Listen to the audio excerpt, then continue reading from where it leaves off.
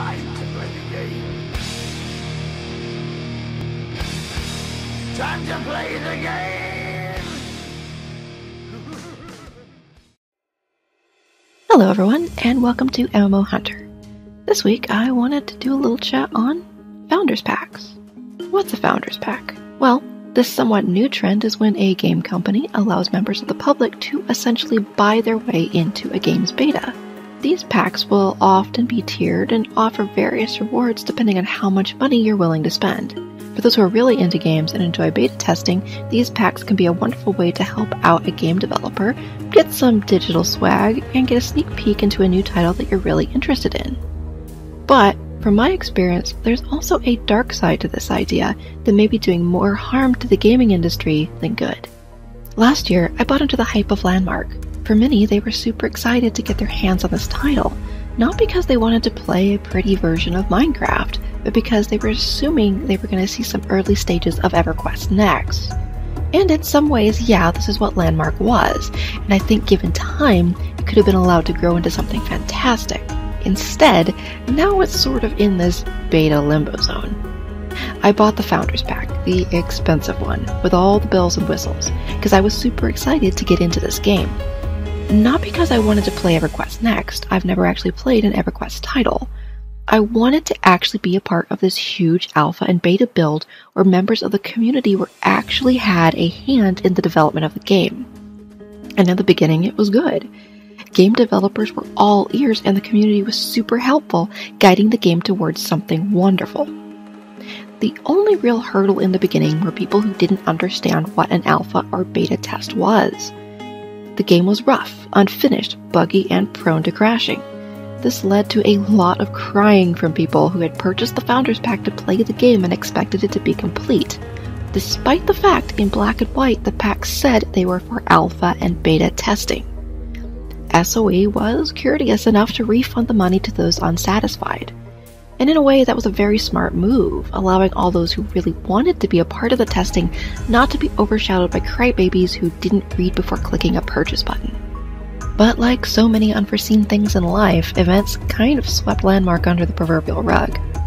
SOE, now Daybreak Entertainment, was sold, thus throwing a giant wrench in the monkey works. Senior members of the staff, namely members who were the most enthusiastic, were let go, leaving the future of Landmark and even EverQuest Next up in the air. Our once transparent, open community started to crumble around the edges as less and less content was updated to Landmark and patches became few and far between. Daybreak, for the most part, even admitted that they have put Landmark on the back burner to focus mostly on EverQuest Next. And this is understandable from a money making aspect. However, it's sad that Landmark is now the red-headed stepchild of Daybreak, still sitting in beta, unfinished, and frankly not even user-friendly. In essence, I blew my money on something that may never see the light of day. But it's not the last time I would throw my money away. There was this little game called Moonrise, a sort of Pokemon battle game where you captured monsters and trained them. I thought the game looked cute and interesting enough for me to purchase a Founders Pack. Admittedly, I got bored pretty fast, but I didn't think it was a terrible game, just not for me. However, it was recently announced the game's developer will not even be releasing the game, that it will remain in its beta till the end of the year and then be shut down. So, what's my issue here? Well, apart from feeling a little ripped off, I think the biggest issue is that people are allowing companies to do this sort of thing, if not straight up encouraging them to take your money and not produce finished product. Beta is beta, and back in the day, you signed up like everyone else and your name was drawn from a hat. You didn't have to pay for the privilege of messing around in a game that didn't work. You were there to test and to give feedback. The privilege was getting to play the game. But now, almost all games allow people to pay to test. I also find it ridiculous that some games charge outrageous amounts for testing a game that will be free to play. Blade and Soul, for instance, has some odd founders packs at frankly insulting prices. $24.99 to test someone's game, get a three day head start, some meaningless titles, and no ability to reserve a character name is a slap in the face and a cash grab. For 25 bucks, I should get a head start, guaranteed name reservation, and some sort of DLC. A costume, a pet, something visible other than a title that will probably never be used. If a game's going to charge any amount of money and allow you to help them test their product, you should get a decent amount of DLC. Especially for the amount of money some of these Founders Packs go for. Founders Packs seem little more than a company trying to make money ahead of the game's release. So, my bottom line. With game companies now adopting this system to test their games, it's not going away anytime soon. Not all games are going to rip you off, but a word to the wise. The next time a company offers you a shiny package of digital swag, allowing you to essentially pay them to work for them, really consider if you're helping the company or hurting the industry by feeding into this cash grabbing mentality.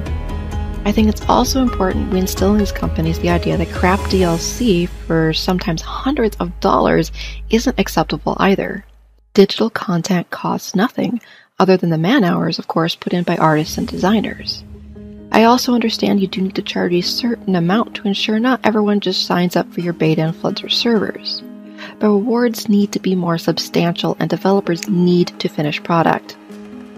If they're going to sell Founders Packs, they need to be damn sure they're planning on releasing their titles to the public. Have you paid for a game that's never been released? Have you seen Founders Packs with a terrible DLC? Tell me in the comments below. If you like this video, hit the like button. If you want to see more, please subscribe. But till next time, this is Mythka, logging out.